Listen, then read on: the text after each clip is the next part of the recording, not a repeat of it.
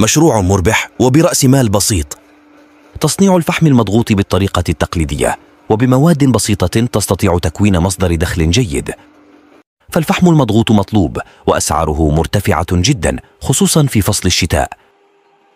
في البداية لنتعرف على مقادير الخلطة. كل ما ستحتاجه هو مخلفات الجمر إضافة إلى النشاء. في حال لم تتوفر النشاء يمكنك استعمال الدقيق الأبيض. أولا نضيف الماء ثم نمزج الطحين بالماء قليلا ونضيفه إلى القدر. نحركه حتى يصبح بهذا الشكل. ثم نمزجه مع المخلفات جيدا حتى نحصل على القوام المناسب.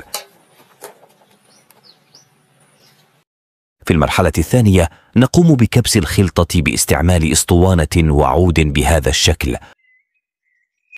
كما ترون النتيجة مشابهة لعمل الآلة. بعد ذلك نقطعها إلى قطع متساوية. ثم نتركه حتى يجف. يمكن أن يبقى الفحم المضغوط لمدة ثلاثة ساعات أو أربعة وهو مشتعل. في الأخير لا تنسى متابعتي للمزيد من المشاريع المربحة إن شاء الله.